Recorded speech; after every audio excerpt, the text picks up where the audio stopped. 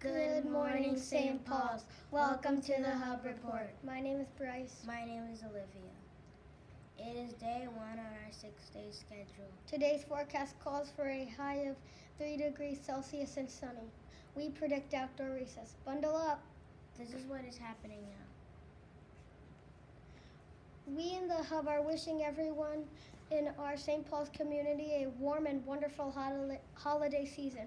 Be sure to look up at the night sky on December 21st. It is our winter solstice. The winter solstice, also known as midwinter, occurs when uh, one of the Earth's poles has its maximum tilt away from the sun.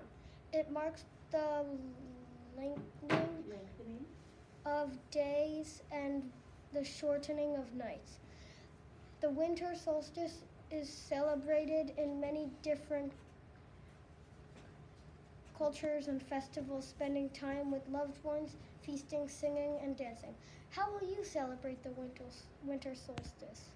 Th- Thank you for tuning into the Hub Report. And remember, no, no matter, matter what the weather is outside, let's keep it sunny inside. inside.